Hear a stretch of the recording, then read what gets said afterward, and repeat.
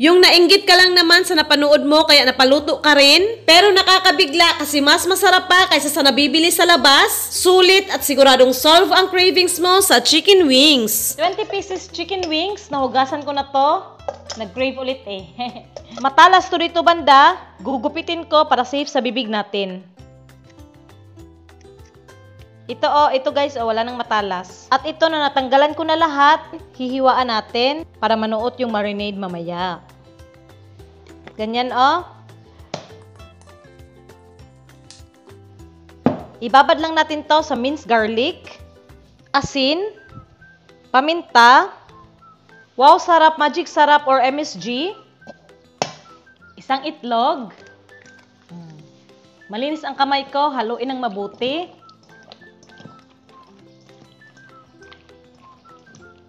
Yan o, lamas na lamas na. Hayaan lang natin to ng 30 minutes, ilagay sa ref para safe. New oil at used oil, pinaghalo ko na, painitin natin. Ito na after 30 minutes sa ref. Cornstarch or harina, pero cornstarch to para mas malutong. Yung manok, balot natin. Hindi na ako naglagay ng panimpla dito, babawi tayo sa sauce mamaya. Siyempre, bago ilunod ang manok, init-check muna. Yan, lumutang meaning mainit na. Lunod na natin. Yan no, 10 piraso lang muna para hindi mag-overcrowd. Hayaan natin to hanggang mag-slightly golden brown. Ayan, nag-slightly golden brown na oh. Hanguin na muna. Prituhin ko rin tong natira. Yan, sobrang dami na oh, parang pang-only wings na yung dating. Pinatulo ko lang to ng 15 minutes. Nagpapainit ulit ako ng mantika dito. Sa malakas na apoy no, iprito na ulit natin tong mga manok. Mga dalawang minuto lang, no? Tapos hanguin. Yan, oh. At gawin na natin ang mabilis na sauce.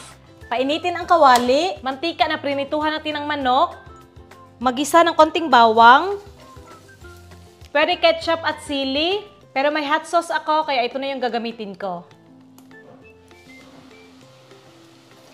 Asukal pang pabalance. Maglalagay rin ako ng paminta. Haluin. Ito oh, halong-halo na. Dagdagan nyo lang ng asukal kung feel nyo na sobrang anghang, no? Ilagay na natin itong mga chicken wings.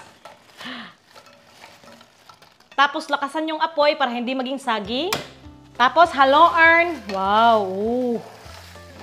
Grabe na, Des. Pag ganyan, oh, nahalong-halo na, patayin na yung apoy para hindi masunog. Tapos, budburan mo ng sesame seeds. Wow, lami na kaya yung buffalo wings, Zay. Masarap na ba? Of course. Pero gagawa pa tayo ng dipping sauce pang pabalance ng lasa. Hihi. Mayonnaise,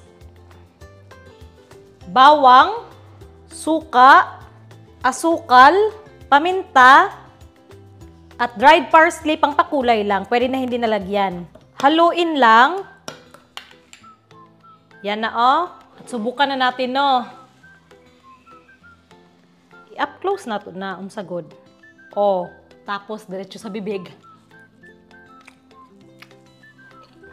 Grabe guys, ang sarap. Mmm. Mmm. Mm. Isa to sa pinakamasarap na nagawa ko. I mean, sa naluto ko.